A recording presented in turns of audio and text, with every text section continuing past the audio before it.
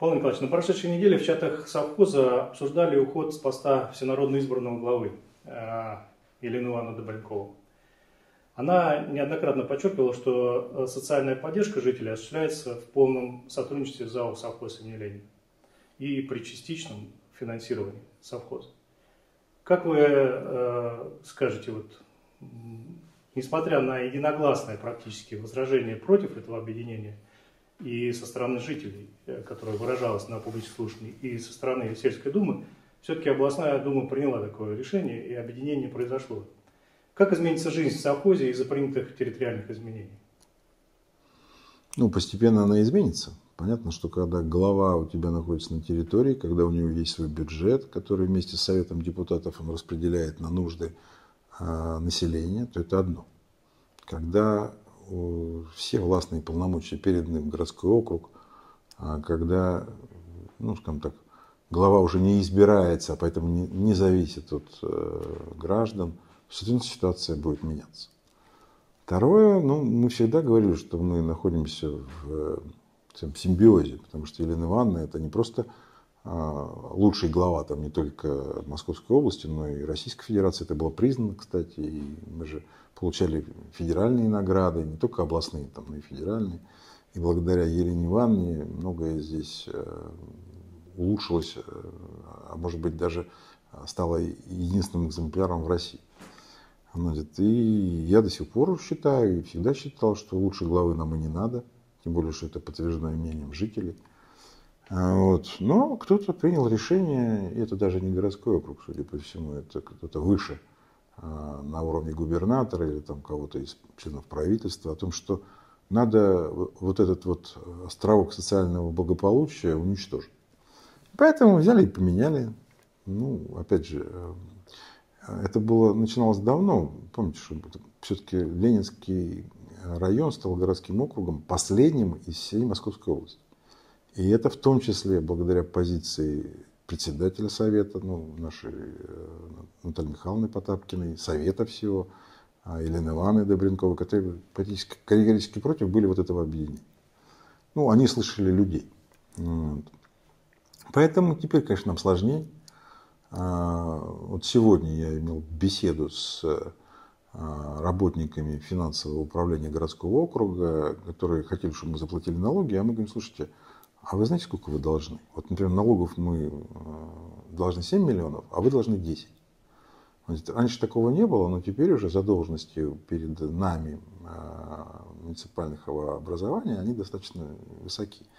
И это потому, что, ну, скажем так, вот этот переходный период произошел, хотя у городского округа достаточно много средств, они могут, э, если необходимо, в том числе заплатить нам деньги за ЖКХ, за аренду помещений, ну и за многое другое, и тогда мы выплатим налоги.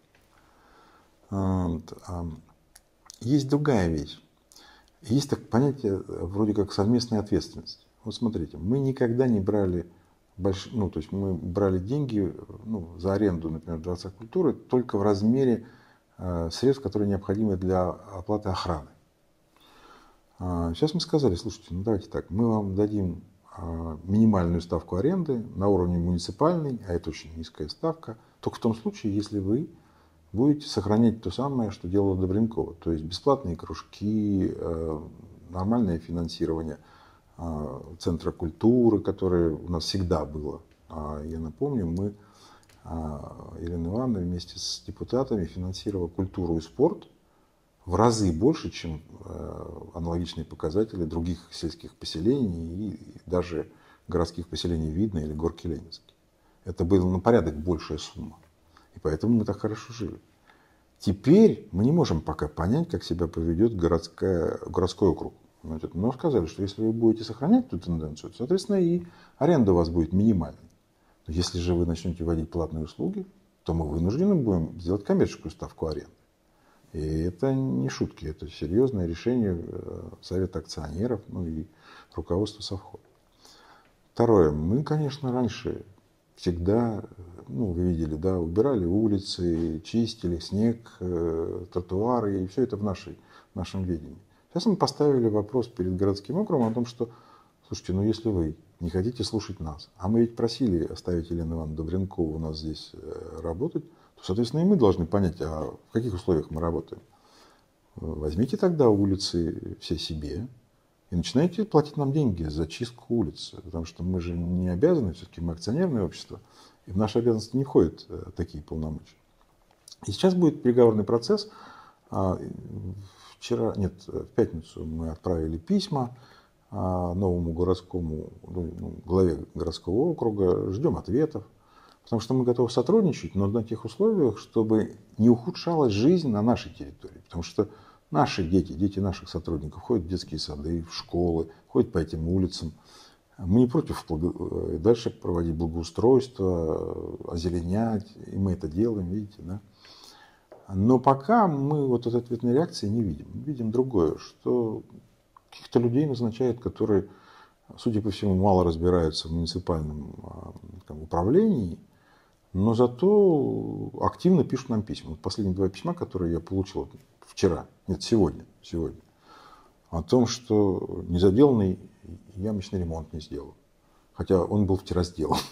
Ну, человек, э, видно, который писал это, он не видел, хотя ему даже на вот этом собрании, которое проходило, уже кто-то сказал, что все, ямки заделывают. Ну, действительно, факт, что, к сожалению, у нас так получилось, что асфальтовыми работами занимаются преимущественно э, граждане армянской национальности. Они, к сожалению, в силу того, что закрыт был, э, скажем так, границы, не смогли вовремя приехать. Ну и асфальтовые заводы из-за определенных ограничений не работали. Поэтому ну, затянули процесс, который каждую весну у нас проходит. Вот. Сейчас вот они приехали, начали работать, первые работы сделали. Сегодня я встречался с их руководителем о том, что а, нужно уже глобально к этому подходить, э, то есть выдалбливать, э, асфальтировать уже, соответственно, ну, как положено по нормативам. Вот. Ну, погонять нас не надо. А этот гражданин написал какое-то письмо о том, что вот давайте в 10-дневный срок сделайте. Да мы уже это сделали. То же самое касается, там, второе письмо было по поводу зеленых насаждений.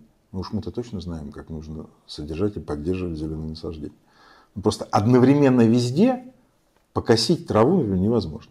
Или там пересадить тюльпаны на что-то другое. Поэтому мы это делаем а другое дело, что никогда Елена Ивановна не писала нам таких писем.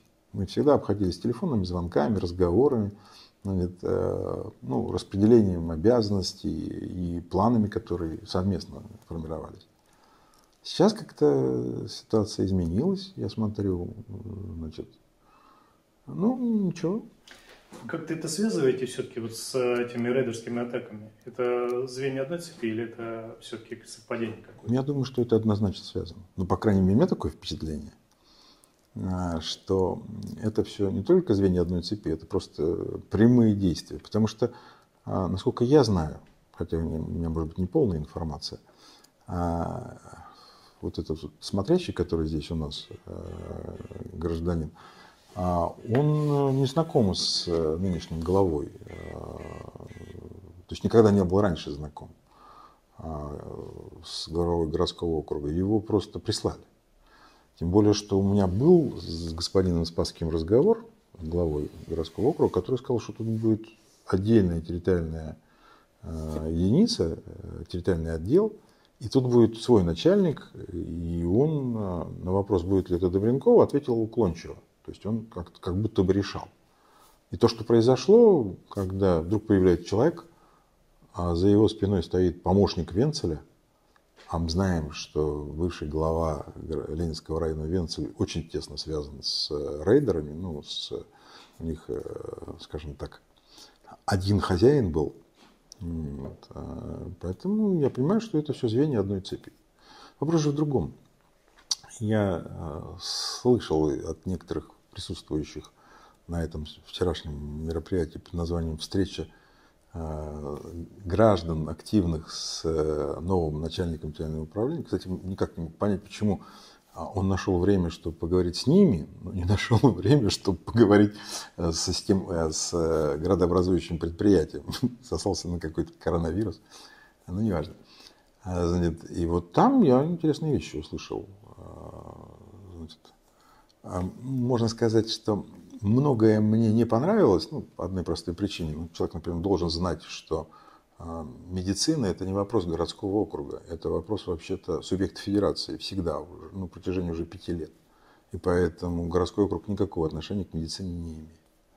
Он тоже должен знать, что у каждого предприятия есть определенный, скажем так, э, порядок, финансовые трудности, но мы сами, например, а у нас нет ни асфальтировщиков, ни скажем так, людей, специалистов в асфальтовом деле. Мы всегда кого-то нанимаем. Мы просто позвонить и узнать, когда эти работы будут выполнены. А, тем более он должен хорошо ориентироваться на территории. Вместо того, чтобы писать письма, просто начать конструктивно работать. Вот. Но то, что у него сейчас на сегодняшний день нет никаких полномочий, потому что ну, так получилось, что все полномочия теперь Ленинского городского округа. И вот чем его там наделят, мы пока еще не знаем.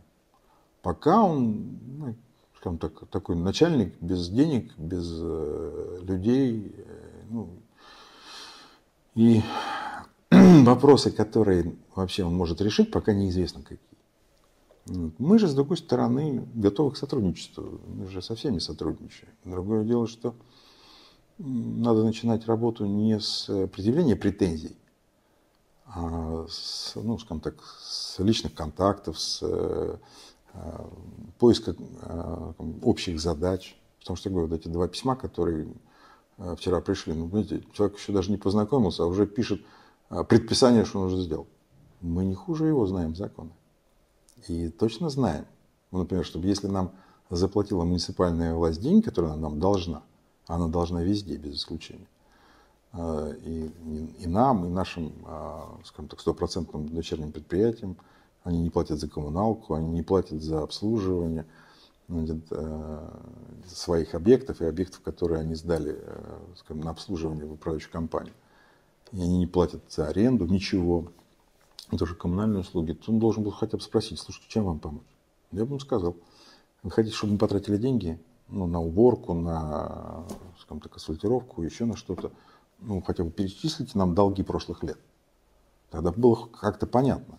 Вот. А начинать с претензий, это по меньшей мере странно. Эта конфликтная ситуация, она как-то, по всей видимости, может отразиться на вот, социальных льготах, к которым привыкли жители? Никакого конфликта нет. Его не существует. Потому что конфликтовать можно с людьми, которые что-то делают. Пока они ничего не делают, да и не могут ничего делать. А, претензии уже живут. Но претензии это не конфликт. Ну, бывают неопытные люди, не понимая, какие у них полномочия, начинают, может, с таким же успехом обратиться, почему мы, не знаю, там, а, не обрезаем сады. Но это не его вопрос.